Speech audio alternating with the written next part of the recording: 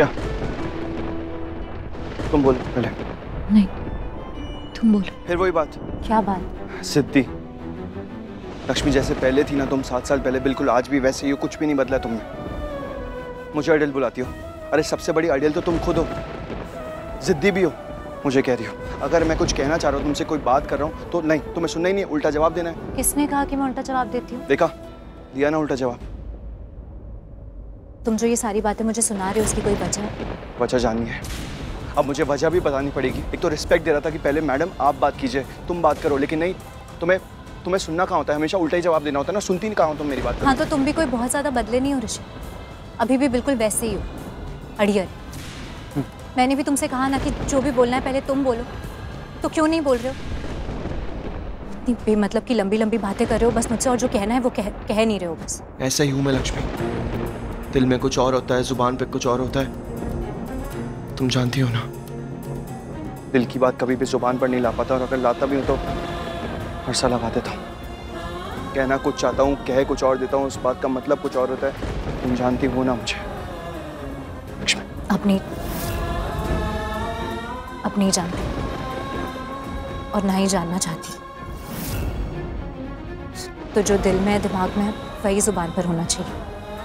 अब तुम्हारा ये पहले वाला बहाना कि कि मैं बोलना कुछ और चाहता हूँ और कह कुछ और देता हूँ ये सब अब नहीं चलेगा।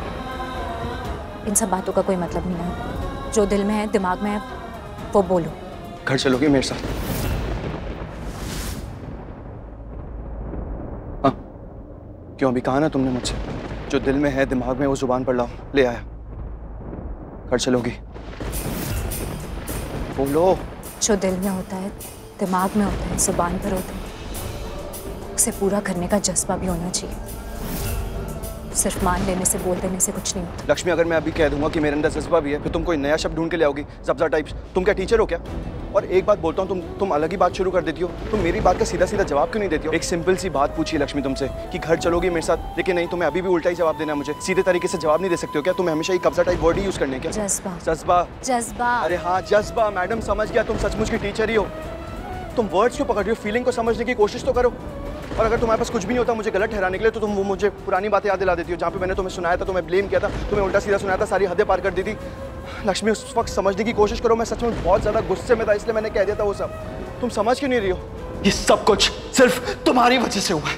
दिल तोड़ना, परिवार तोड़ना, घर तोड़ना, खुशियाँ छीनना, सुख छीनना, और अब ज़िंदगी छीन रही हो। तुम लोगों की ज़िंदगी बचाती नहीं हो। तुम लोगों की ज़िंदगी खत्म कर देती हो, बिल्कुल उसी तरह जिस तरह से तुमने अपने सगे बाउजी की ज़िंदगी खत्म कर दी।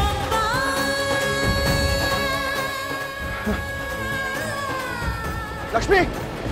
वो तो मनुष्य अशुभ मर्डरर हो तुम। सुख दुख चैन सब कुछ सबका मर्डर कर दिया। और अब डैड का मर्डर करने जा रही हूँ। लक्ष्मी!